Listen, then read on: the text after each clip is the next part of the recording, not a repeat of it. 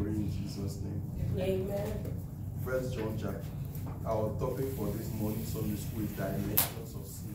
Dimensions of sin. Dimensions of sin. And our the Sunday school this morning. The topic is dimensions of sin. And our memory verse is taken from 1 John 5 and verse 17. 1 John 5 4 verse 17. The Bible says all unrighteousness is sin, and there is no sin, there is a sin not unto death. All unrighteousness is sin, and there is a sin not unto death. Someone was talking the other day and asked me, What is sin? So the Bible now is saying all unrighteousness is sin. In my mind, I'm asking myself, unrighteousness and sin, which one is easier? Which one is a smaller word? Uh, for me to say all unrighteousness is sin, how would I use a big word like that to describe three letter word? What does unrighteousness mean? Who, care, who, who wants to help us? What does it mean to be unrighteous? What does unrighteousness mean? Unrighteousness. Unrighteous. See, that act is unrighteous. Our of not knowing God. Not being righteous. Not being righteous. Or what does righteous mean? Righteous. Little right with God. Righteous. Righteous. Okay, that's a righteous came from the word right.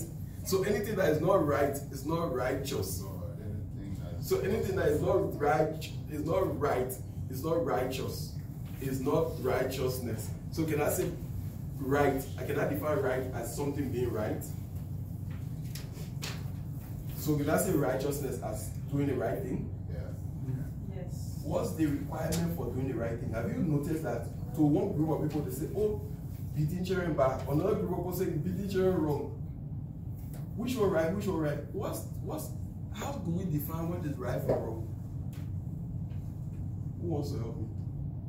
So Mhm. I think uh, you know there's norm, societal norm. Yes. So in, in this uh, context, now talk about the what is right according to the Bible. All right. So That's the exact one I want. So for me to tell what is right and what is wrong, I'm not using societal norms. I'm not using what is acceptable in a society. I'm using what is said by the Bible. Praise the name of the Lord. So righteousness now is doing what if you do what the Bible says is right, you are righteous. If you do not do what the Bible says is right, you are unrighteous. So first John 5 17, the Bible says, All righteousness is sin, and there is a sin not unto death. I will let's look at that introduction. Well, let's read Bible passage first. First John 1, verse 7 to 9. First John is before Revelation. First John is just before Revelation.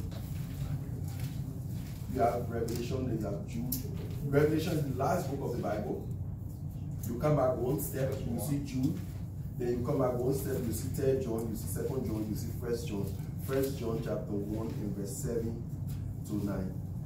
First John chapter 1 in verse 7 to 9. What if we walk in light? You ready? Yeah. What if we walk in the light as he is in the light? We have fellowship one with another. And the blood of Jesus Christ, his son, cleans us from all sins. Eight. If we say that we have no sin, we deceive ourselves and the truth is not yours. Nine. If we confess our sin, he is faithful and just to forgive us our sins and to clean us from all unrighteousness. What is? What did you notice from there? Did you notice anything there? What caught your attention as we were reading that three verses? Unrighteousness. Unrighteousness. What did they say about unrighteousness that really caught your attention? Pretending to be holy and not holy. Pretending to be holy and not holy. Yeah, declare yourself holy. Yeah, but you're not holy. It is a bad thing. What else did you notice from there? Confession of sin. Confession of sins. Who's supposed to confess their sin? If you do righteous, if you do, if you, if we get somebody, you know, certain prayer. If, for example, everybody in this room, they're all pastors, and I say, let us confess our sin. It will be so hard for you to say that that pastor didn't confess their sin because it's expected that pastor is supposed to be. But they, no matter how you get to it, you say, oh, you not you claim you cannot even make any mistake in confessing your sin, you living in error. He said, if anybody say they're getting to that point where they can make mistake, that person is a liar. Praise the name of the Lord. If anybody get to a point where they say they cannot make mistake, that person is a liar. But in case we make mistake, that's sin. That's doing what is against the Bible. In case somebody make mistake, what is required?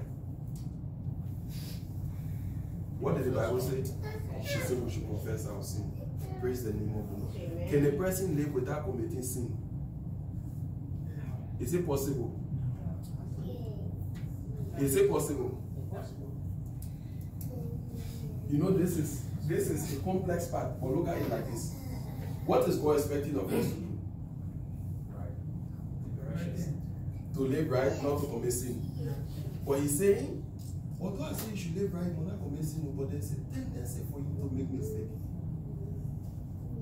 If you make mistake, you must ask for forgiveness. Is it possible for somebody not to, to live a life without making mistake? It's possible if you choose to go out with you and stick to it. I will try my best. Even if I make mistake, what am I supposed to do? Ask for forgiveness. So, this I want to ask the question: Is temptation a sin? When you fall, when the person fall into it, that when it become a sin. Yes. When the person fall into it, then it become a sin. Yielding, yeah, yielding to the temptation. Temptation can come when you not yield to it. It can be a sin. So he said that temptation will come, yeah, they will come. He said that we say, oh, because they will come, so I will keep asking for forgiveness. Paul said, shall, shall we continue in shall we continue in sin that grace may abound? He said, God forbid. Is it possible for you to live one hour without committing sin? One hour without committing sin? It's very possible. It's very possible. Can you go two hours without committing sin? Maybe you can go one hour without committing sin. You choose to go more, you can go. That's your choice, you know. So if you can go one hour, means you can go two. It means you can go six hours. It means you can one day. What if? What if you were married to someone who said, I will not do anything wrong. I will do everything right, 100% right. How would that relationship look like? How you think that relationship look like? Boring?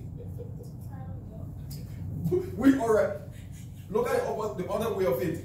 Somebody say, alright, I'm married, but I will be getting drunk. I will be having girlfriend here and there, there and there. How would that marriage look like?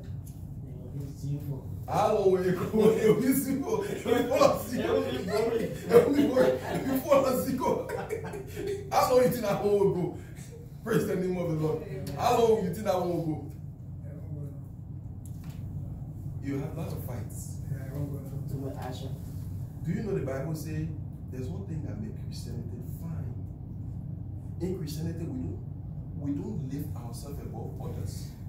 If maybe Christianity, you know, like Jesus now, how did Jesus carry himself? Do you know Jesus and disciple? The people couldn't tell which who the difference because he and disciple all two, all of them play together equally. They interact equally. They didn't say that, that Jesus here, Jesus ah when they see Jesus they bow down to Jesus. The Bible say we ought to we ought to how did they put it on, on that word bible study on sunday on they say we should exalt other above ourselves bible study on tuesday is that what they said? They said we should exalt other above ourselves. So if i'm genuinely a christian and i'm taking and i'm putting you higher than myself and i'm putting you first and i'm trying to make you happy and i'm doing everything right how do you think that relationship will go? It will be heavy on earth. Praise the name of the Lord. So if the person chooses, I will do God business, I will do it right, everything will go well. We get uh, when, when, when you when you deal with that money, it can be the discussion. Praise the name of the Lord. Where you were last night, it can be the discussion. Praise the name of the Lord. Amen. So we say, all on anything that is not done right, sin. Praise the name of the Lord. Amen. Anything that is not done right, It says sin came from the, if you look at the introduction, I'm reading from the introduction, I'll read it, the whole introduction, somebody will tell me what they can take from there. Sin connotes evil and lawlessness. I'm reading from that paper introduction. Sin connotes evil and lawlessness. It is derived from the Greek word hamartia, which means to miss the mark. It can also refer to doing something against God and a person. It is doing the opposite of what is godly. It is failing to do something you know is right. Since the Bible says all righteousness is sin, we shall attempt to unravel some of the form of sin, some of the form sin take as well as its consequences and remedy. What did you what caught your attention there? What caught your attention there? Faith in the right thing. we must do the right thing. So I like how they describe sin. Sin came from the Greek word hamartia to miss the mark. Meaning there is a there's something right that God there's something God is expecting us to do. Every time we don't do that right thing, we are missing the mark. If we don't do that right thing, any other thing around it is unrighteousness. Praise the name of the Lord.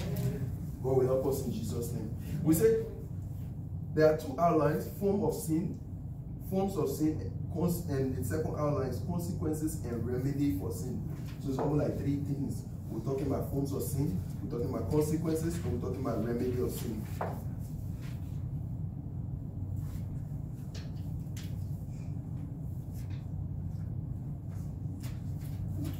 I have trespass, transgression, iniquity, reprobacy, apostasy. We to of it, I mean by it. I won't break that into one, two, three, four, five. Who won't take one one of them there? I'll I'll read it. I'll, I'm coming to read the whole thing, and you take the one that you think you're okay with. You tell us about it. You just give us a summary, short summary, one minute or one minute and a half summary. Trespass is a form of sin that occur when we cross a line.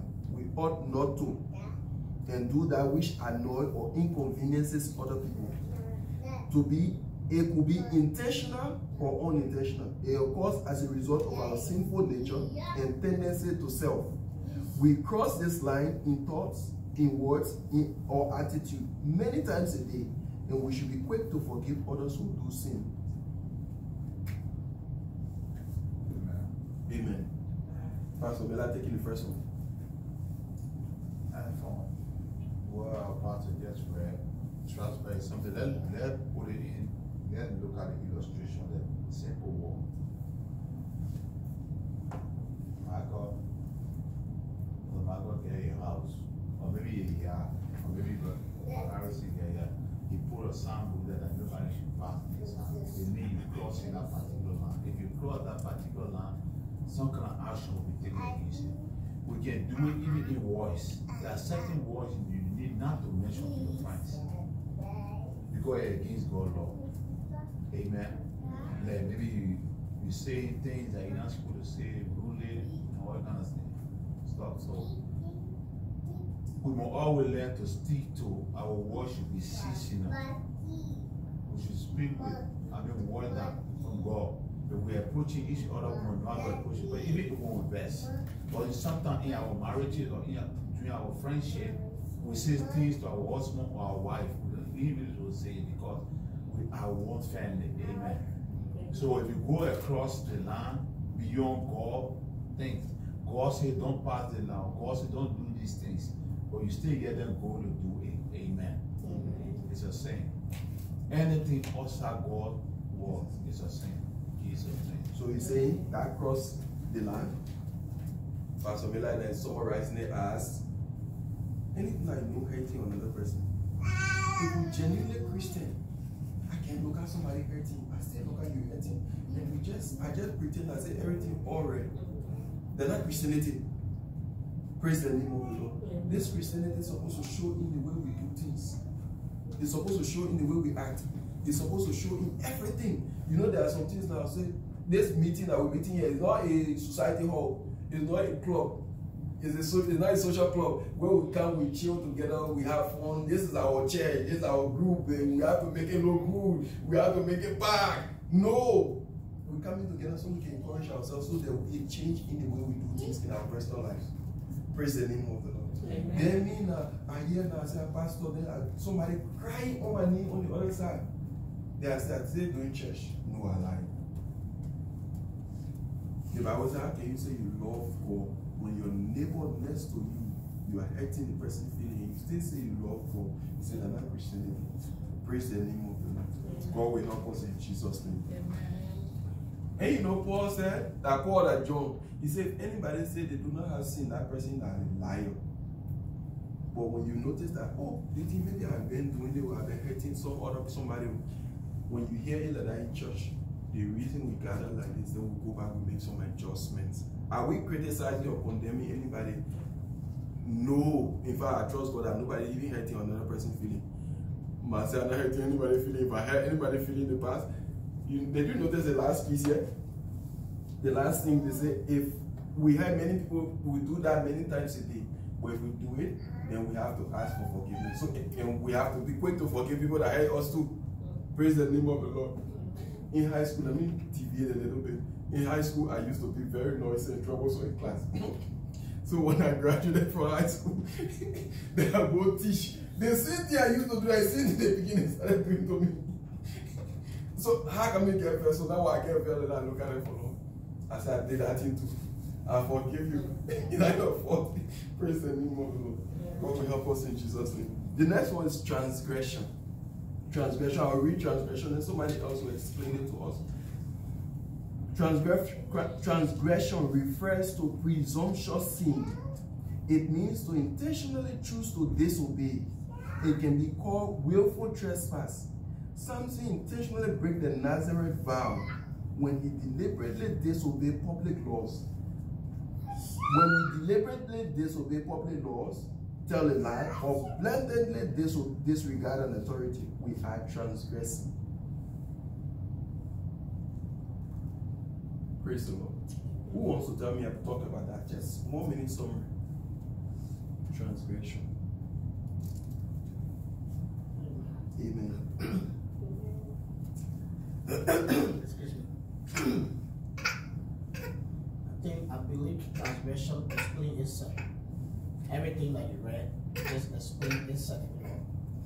Transgression is to just summarize it is about sin that thing that you do that you know that is wrong and you do it. You know that it's wrong and you do it. As as a Christian, it's not only limited to uh, church, but even outside there just look at the red light, go through it. It's, it's, it's, it's sin. Look at the stop sign, go through it, it's sin. You know, disobeying authority, doing things that is wrong that we know that we're not supposed to do. And we continue to do it, it's transgression, it's sin. And that's how I want to say. Praise the Lord. I was rushing this morning. I wanted to park on the other side of the road. After I finished reading this thing very early this morning, you know, there's I'm driving so back on the side. But I want to park on the other side so I can run to somebody else quickly and come outside. Because I didn't want to spend long time with him because I didn't get to be in church. So by the time I was about to go, the thing that came to my mind, transgression, you know this when you say want to do so sure we'll go to the other side. Praise the name of the Lord. So what it's saying is for somebody deliberately, you know it's wrong, but you keep doing it. Like take for example, after we finish here now, the Holy, when you want, by the time you tell it that the Holy Spirit remind you say that thing ain't right. When you do something that is wrong, then the Holy Spirit remind you. Then you look at it for the Holy Spirit relax when I coming back. And let me just finish one, not do it again. Then that one is become transgression. You know that it's wrong, but you still doing it. The next one is iniquity. Iniquity, I will read it. We'll read it together. Then someone that can just give us a quick summary, one minute, less than one minute or less. Iniquity is a sin that becomes so consuming that a person can be identified by that lifestyle. It means guilt worthy of punishment. It is a sin at its worst because it is predetermined, premeditated, continuing and escalating. David was born in iniquity. That Bible verse said David David first saw the woman, he was obsessed. He saw the woman, the woman taking back. He didn't just think about it, he. He went by, told the woman to come. The woman came. Maybe the woman went back. Maybe she came a couple of times before we got married, she got pregnant. We know how many times she came, but she got pregnant. When she got pregnant, it didn't end there. He had to kill the man, the woman husband, so he didn't get score.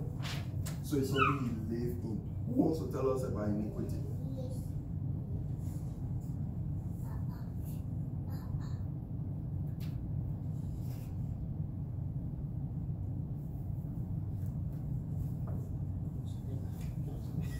Anybody? Iniquity. So one thing, one thing that that very very the whole thing that about this this iniquity, they said a person can be identified by that lifestyle. That's a that's a key word I found there, you know. I don't wanna go through things, let me just right there, somebody can talk about it. What thing come to your mind when you hear that? Somebody tell me what comes to your mind when you hear that? We don't say something like somebody being identified as a priest. You know, stealing is not part. But you will see that person, every time you see that person, you notice that you know that particular person are coming at you. they left out that particular person to steal. The lifestyle, the person be identified that. that particular person. So you know, and you as a believer, as a Christian, you know that stealing is not right. You identify with something Yeah. come from David, he made a statement. He said something. David knew that this particular woman you were looking at was not one of his soldier wife, but he did it intentionally. And so he was identified at that particular. What the Bible keep talking about it, that David did wrong something. Amen. Amen. He didn't stop there. He sent a man on the front, and the man died there because he wanted to. And he kind of thing that God can take serious action against it. Amen. In Jesus' name. Right, Manuel, you wanted to say something? Yeah, I just want to add Like, if you are drunk uh, in the, in the community, people see you and say, that drunk is coming, you identify by that. How did you? Yeah, that's what I want to say. Reprobate. Number four. When the man continues in his abomination until repentance becomes difficult, he is a reprobate. In other words, it is a progression in sin in which the sinner no longer has the desire or ability to repent. It is to be thoroughly deprived, giving other, giving over to evil until the conscience is smeared and given to natural affliction, affection. Praise the name of the Lord. Look at this one like this. I'll just talk about this one quick, then we I'll read the next one. Look at this one like this. Do you know? After a while, when somebody maybe you come to America newly, and you still you used to go to church in Africa, you know that going to church is something you need to do. After you don't go to church the first time, you feel guilty. The second time when you go to church, you feel guilty. After you keep staying away for some time, that guilty conscience will go away. Praise the name of the Lord. It become a normal thing. It become a normal thing. Praise the name of the Lord. At the in time, you know that all also lie is not good. You know that to lie is not good. But because the first time maybe you did it, you feel guilty and you ignore the guilt. If you keep ignoring the guilt, you will get to that, the person will get to that point of being a reprobate where your conscience will be dead. You just see it as a way of life. Praise the name of the Lord. Yeah. One of the things that if you decide to sin a conscious evil, mm-hmm. it will lead you, it will never lead you to good thing. It will always be telling you to do evil all the time. Amen. Who wants to add something to that before I move on? Let me read ap- apostasy. It's derived from the Greek, Greek word, I'm reading number five. Apostasy is derived from the Greek word apostia, means, which means a defiance of an established system or authority. It is an abandonment or breach of faith. It is expressed as either a falling, falling away from key and true doctrines of the Bible or here- heretical teaching or a complete renunciation of the church faith which results into abandonment of Christ. That apostasy is deep. It's the part where, like take for example, now every one of us know that Jesus is Lord. Then all of a sudden, maybe one group come and they start giving all money, and we say, because they give you all money now, we say, Jesus Christ, something, something, something, something. They say, oh, all the thing that we used to believe before, they're not even true again. We change it. Praise the name of. Amen. There's one group that say the Bible are complete. They say there's one other man called Joseph Smith. They say Joseph Smith. They bow. And the Bible say, how, you, how did the Bible put it? The Bible says this Bible that's First Timothy 3:16 that says, all scriptures were inspired by God and they were given for doctrine, it's profitable for reproach, for this, for that. Then they get one group now. They say this Bible is not complete. Yeah. That because it's not complete, it's not 100% correct. So God gave prophecy to one other man so the man can bring one book to make the Bible complete.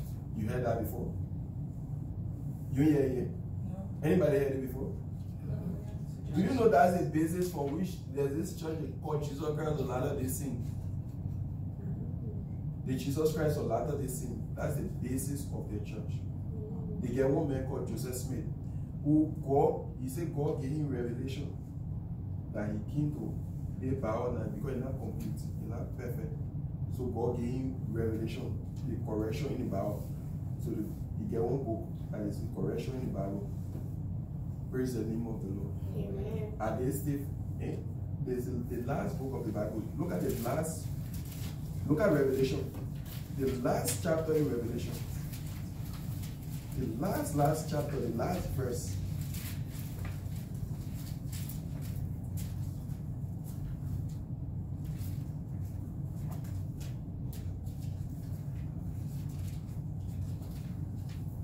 Revelation chapter 22, verse 18.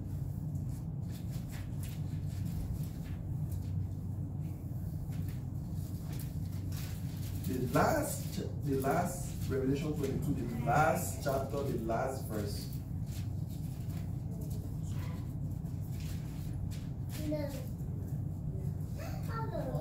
On? But I want to read seven. I want to read 18.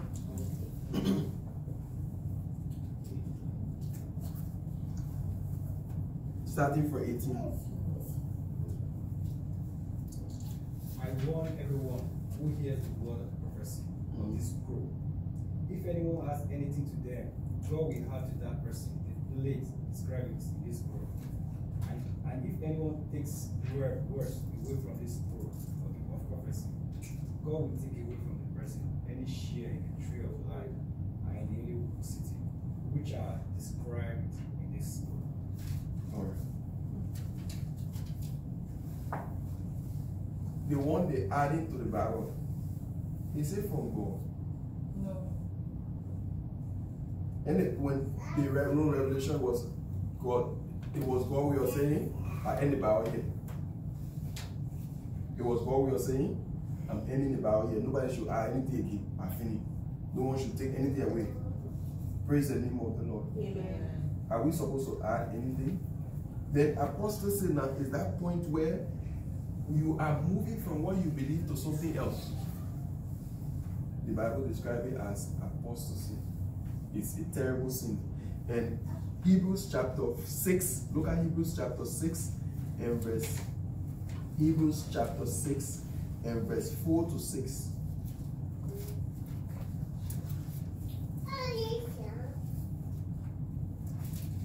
Hebrews chapter 4, 6 and verse 4 to 6. The Bible says it is impossible for those who were once enlightened. Hebrews chapter 6 from verse 4 to 6. Hebrews chapter 6 and verse 4 to 6. Hebrews, Hebrews is the one the Old Testament, is in the New Testament.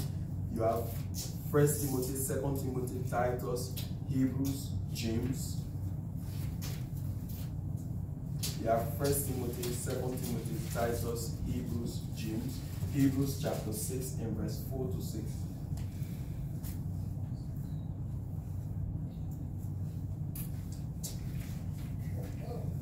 For it is impossible for those who were once enlightened, who have tasted of the heavenly gift and were made partakers of the Holy Ghost, and have tasted the good word of God and powers of the world to, to come.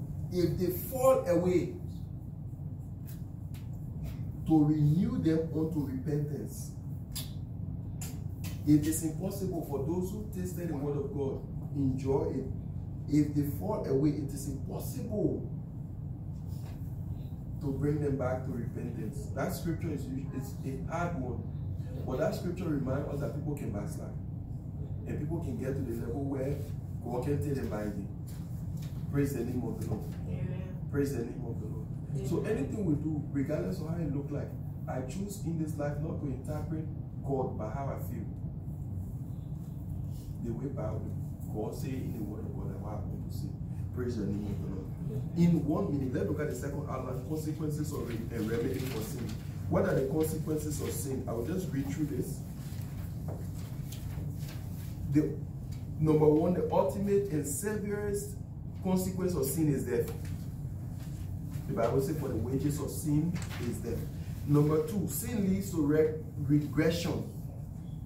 That Proverb 14:35, he said, righteousness exalts a nation, but sin is a reproach to any people. Anybody that lives in sin is as if you are bringing yourself down. You cannot be the, at the point at which you ought to be in this life. Praise the name of the Lord. Number three, sin breaks fellowship and eventually lack of spiritual growth. So when the person keeps sinning, the person will be breaking their fellowship with God. Hallelujah. Number four, sin is harmful to others. Sin will not only affect you, it will affect the people around you. Praise the name of the Lord. Amen. Sin can bring severe discipline, which can sometimes lead to death when a heart is hardened to the point of no return. The person, the sin by itself can lead to death directly sometimes. Sin can enslave a man that brings about more sins if not checked on time. What's the remedy? God remedy for sin. First John 1 7. If you say you don't have no sin, you lie to yourself. But when you if you par- peradventure you make mistake, ask God so he can forgive you. Praise the name of the Lord. The death of Jesus on the cross was sufficient to pardon all our sins. Whenever, but in that Romans 9, the Bible says that death of Jesus was for the sin of the past. So after that sin of the past that God have forgiven through the death of Jesus, anything we do now, we should ask God for forgiveness. Praise the name of the Lord. Whenever we accept substitution he made on the cross by confessing our sin, repenting and believing the sacrifice he made on our behalf, God sees us as righteous.